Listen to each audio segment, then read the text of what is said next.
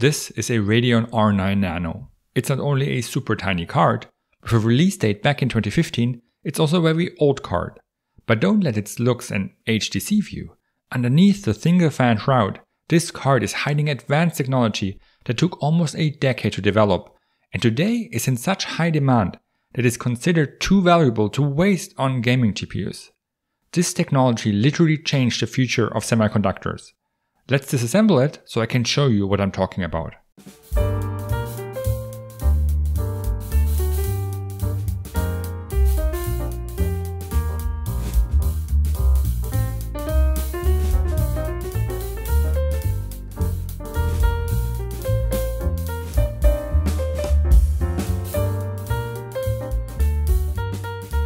What you are looking at is AMD's Fiji GPU. At first glance it might not look like much, but if you compare it to a traditional graphics card, the differences are immediately obvious. First, Fiji is missing the memory chips that usually surround a GPU. And second, right next to the GPU die we can see four tiny chips. The reason for this interesting design is that Fiji doesn't use traditional graphics memory, such as GDDR, but instead it was the first GPU to use next generation high bandwidth memory, HBM for short. And to enable the use of HBM, it was also the first GPU that implemented a silicon interposer design, which means that chips are sitting on top of another silicon chip. The use of HBM for gaming cards died with AMD's Vega generation. Today, HBM and silicon interposers are only used for very expensive HPC and AI cards. Nvidia's Hopper, AMD's MI300, and Intel's Ponte Vecchio are not only the most advanced and most expensive GPUs at the moment, they also wouldn't be possible without the use of HBM and silicon interposers. Technologies invented to make this little GPU a reality. Technologies that took a lot of engineering time and trial and error, which is why Fiji might be the GPU with the longest development time ever. Let me tell you the story of how this tiny GPU invented the future. The story of Fiji begins all the way back in 2007 just one year after the release of the iconic 8800 GTX from Nvidia. Crysis wasn't even released yet, and the most hyped games were Stalker, Bioshock, Portal and Call of Duty 4. The development of GDDR5 graphics memory just finished and AMD was back to the drawing board with a simple but at the same time very difficult question. How will the future of video memory look like? Simply scaling the clock speeds of GDDR5 memory wasn't feasible as it would lead to an increasingly higher power draw, taking more and more power budget away from the GPU itself. In a fixed power world, you can spend the majority of your power budget on the video memory because you need that power budget to run the GPU cores itself. Memory scaling just didn't match GPU scaling. Something new was required. At the same time, form factors were getting increasingly smaller, especially notebooks. For this reason, AMD set two main goals for their idea of a perfect next-gen video memory. Maximize bandwidth per watt and bandwidth per square millimeter at the same time. And of course, it had to be affordable enough to mass produce. With these two or rather three goals in mind, AMD engineers started their journey.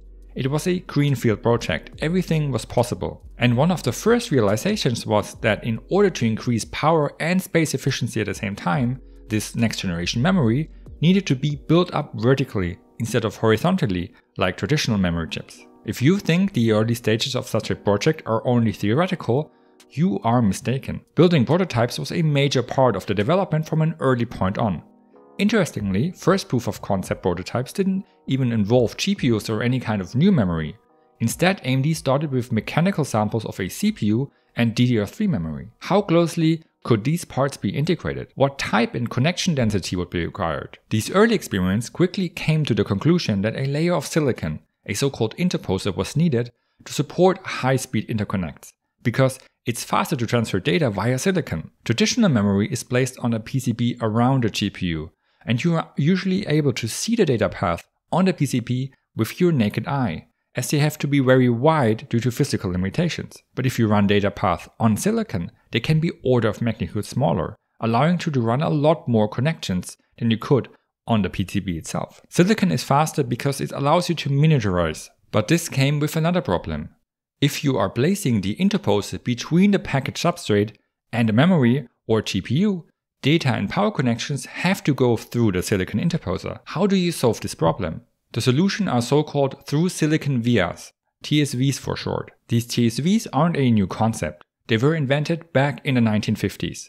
IBM pushed the research further during the 1960s and first integrated circuits with TSVs were built in the 1980s. At its core, TSVs are basically super small copper pillars that literally go through the silicon dies to connect layers above and below. And they were perfect for AMD's use case, especially since at around the same time new technologies like wafer thinning made TSVs much more viable. It's always fascinating to me how, on one hand, modern semiconductors seem like pure magic, but if you look close enough, it comes down to using tiny wires to connect even more tiny wires with each other. After the interposer design and the use of 3D stacking with TSVs was selected as the method of choice, engineering samples moved to GPUs and GDDR3 memory provided by SK Hynix. From this point on, SK Hynix also got much more closely involved in the development of HBM. In 2011, after a few generations of ever improving experimental samples, AMD moved towards the next big step. This time, things got real, as it was the first sample using an actual interposer.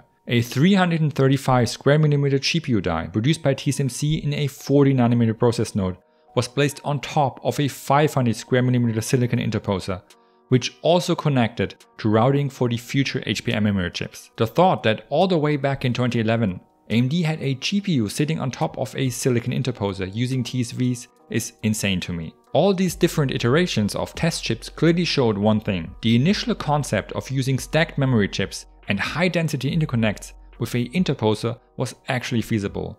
But things needed to get bigger, a lot bigger.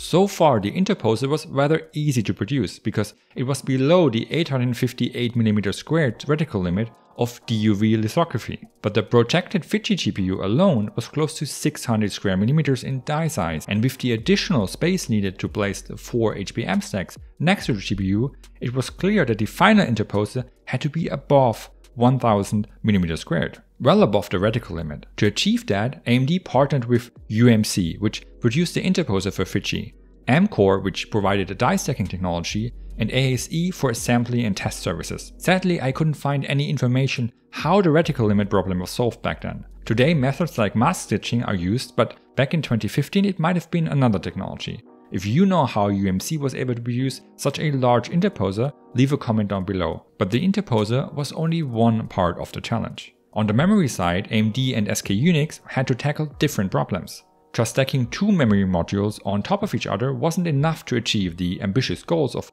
power and area efficiency, the design was pushed to a 5 high silicon tower, with 4 of the 5 chips being memory dies and the bottom chip acting as a logic die. The logic die at the bottom is connected to the silicon interposer via microbumps and also provides the physical interconnects for a dense connection to the GPU, which for this very reason is located in such close proximity. It's here where AMD and SK Hynix use the TSV we've touched on before. The logic die is connected to the memory die that sits above it via TSVs, which in turn is then also connected to the next memory die with TSVs, and so on. It's basically one large three-dimensional memory tower. And because HBM is using four memory chips instead of just one like GDDR, it can provide a lot more data path, resulting in a much wider memory interface. This is very visible when we compare a single first generation HBM stack with a single GDDR5 memory module. A G5 module provides a 32-bit bus, a typical mid-range CPU with 8 G5 modules thus has 8 times 32-bit connections and a 256-bit interface. In contrast, just one HBM stack alone already has a 1024-bit bus, and since Fiji was connected to four individual HBM stacks, the total memory interface was 4096-bit wide. That's the advantage of HBM. These stacked memory modules allow for a much wider memory bus. On the flip side, this also means you need a much higher interconnect density to wire all of the data path you just created, requiring a interposer which can handle high density connections, as it allows every data path to be much smaller with less physical restrictions than if you would try to connect memory and GPU via the PCB. You are basically trading the cost of the interposer and the increased design complexity for the ability to produce smaller microbumps and smaller data paths, which simply means that you can fit a lot more of them on the same area. That's what high density interconnect means. Just smaller wires and more wires. And since everything is so tiny and no packaging technology is perfect, there are more TSVs than actually needed. So there's a overhead when eventually some of them fail to connect during packaging. Another interesting aspect is that when it comes to clock speeds, the HBM clocks much lower than GDDR5 modules. Because the bandwidth is achieved through a wide interface, clock speed isn't that much of a factor. First gen HBM chips itself actually have a lot in common with DDR1 memory from way back in the days. It's a much simpler design if you ignore the 3D stacking. This means HBM can also run at lower voltages, reducing power consumption. Something I found quite interesting is the fact that the whole HBM memory stack, including the base logic die, is produced in a DRAM process node, which is simply a process node optimized for memory cells. AMD and SK Hynix really had to nail down the design rules to reliably produce a logic die in a process node that wasn't really meant for that kind of job. And even today, modern HBM stacks have a logic die at the bottom, which is produced by the memory manufacturer in a DRAM process node. With the overall design and the high bandwidth memory finalized, AMD created one last prototype. This final prototype was a complete one-to-one -one replica of Fiji and proved that it was possible to manufacture such a complex chip. This whole process started in early 2007 and ended with the release of the R9 Fury and Nano family in summer of 2015, about eight and a half years later. That's how long it took from the drawing board to actually products on the shelf. And while this is a huge amount of time, if you consider the leap in technology, 8.5 years actually seems like a short amount of time to develop such groundbreaking new technologies. In my experience, looking at technology is always better than just talking about it. We got super lucky because famous die-shot paparazzi Fritzchens Fritz took highly detailed pictures of AMD's Fiji.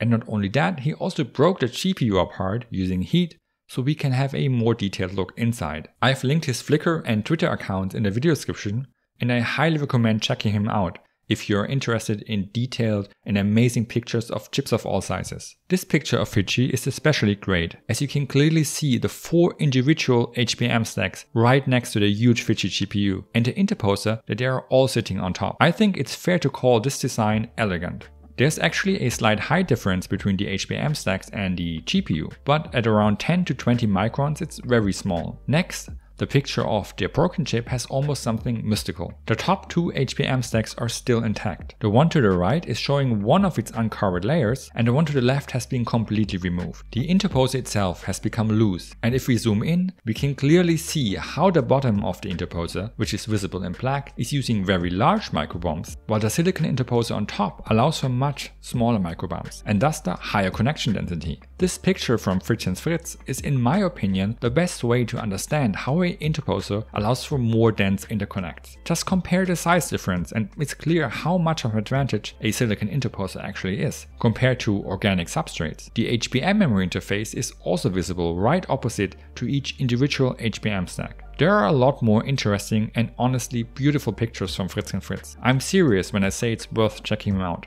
So how did Fiji perform considering it had access to such advanced memory technology? Actually, looking back, AMD's R9 Fury and Nano GPUs performed a lot better than most people remember. Its competitor at the time was the Nvidia GTX 980 Ti, and in 4K, both cards were actually neck on neck when it came to performance, at least initially. Even Nvidia's Titan X only had a slight single digit advantage, most of the time within the margin of error. With 512GB per second of memory bandwidth, AMD's GPU had a 50% bandwidth lead over Nvidia, but it wasn't all sunshine. The 980 Ti offered 50% more and the Titan X even had 3 times the amount of VRAM. Another very important metric when it comes to 4K gaming. AMD's HBM was super fast, but with a single stack of HBM capping out at 1GB, 4 stacks were limited to only 4GB. Maybe acceptable in 2015, but if you buy a high-end card, you want it to perform well the next year too. In my opinion, the greatest flaw of Fiji was its aging graphics core next architecture. Don't get me wrong, it wasn't a bad architecture, but while GCN had a lot of theoretical flops, it couldn't actually translate them into frames. With 8.6 teraflops, the Fury X had a 26% lead over the 980 Ti, but just managed to keep up. And in lower resolutions, AMD's problem compounded and Nvidia started to develop a comfortable lead. One product that did not disappoint is the very card we disassembled at the start of this video, the R9 Nano. The R9 Nano really took advantage of the super small PCB, which was made possible by using HBM. And because its smaller heatsink and single fan design reduced the thermal dissipation, the Nano was also clocked much closer to its sweet spot, resulting in greatly improved efficiency. Fiji wasn't the last gaming card with HBM. AMD's Vega made the switch to HBM2, which increased the memory capacity per HBM stack and also increased clock speeds. With only two stacks of HBM2, Vega offered up to 8GB of memory on a 2048-bit wide bus. Half the size of Fiji, but still a lot wider than any GDDR memory interface. Interestingly, the higher clock speeds didn't fully compensate for the reduced interface, and Vega 64 had less memory bandwidth than a Fury X. If you count the Radeon 7, a 7nm shrink of AMD's Vega, AMD actually had three generations of HBM GPUs. But with RDNA, AMD pivoted back to GDDR memory and has been using it ever since, while Nvidia never really made the switch to HBM GPUs for gaming. The reasons for that are mostly economical. HBM is superior to GDDR in almost any way. Especially current HBM3E allows for high capacity and high performance at the same time, all in a much smaller package. As a result, HBM is almost exclusively used in super expensive enterprise products like HPC and AI GPUs. But not only is HBM much more expensive than it was in the past, due to the surge in demand, it's also in short supply. And the same is true for modern packaging technologies like TSMC's CoWoS, which is used to connect GPU, HBM, and interposers. The hard truth is, even a $1600 RTX 4090 is too cheap to use HBM and advanced packaging, especially if Nvidia knows it could sell a $20,000 Hopper GPU instead. For this reason, GDDR still reigns supreme for gaming GPUs, and there is very little indication that we will see a switch to HBM back in the gaming space anytime soon. Looking back at Fiji, it's almost crazy to think that two of the most important technologies today, HBM and the mainstream use of silicon interposers, can be traced back to this tiny GPU. It's certainly not the only reason those technologies exist, but it played a major part, especially in proving that such a complex design can be mass produced. Funny enough, even with the invention of HBM, today we are in a similar situation as we were back in 2007. The main bottleneck for AI GPUs, once again, is memory, as compute develops much faster than bandwidth. Maybe right now there are engineers sitting in a room somewhere talking about how the next generation of memory could look like. If I had to do a top 5 GPU ranking, the R9 Nano would definitely be in it. From a technology point of view, it was leaps ahead of anything comparable at the time. And even today, with its interposer and HBM design, it outclasses the packaging complexity of current gaming GPUs. But not to worry, HBM and advanced packaging supply is being built up like crazy, and at some point, I think gaming GPUs will start using HBM again, though it most likely will take a few more generations. The benefits are just too great once the cost of production comes down to an acceptable level and supply isn't an issue anymore. Let me know if you have owned or are still using a HBM GPU like Fiji or Vega. Do you think we will see gaming cards switch back to HBM in the future? And how could the next step in memory technology look like? Leave a comment down below, I always like to read your input. I hope you enjoyed this video and see you in the next one.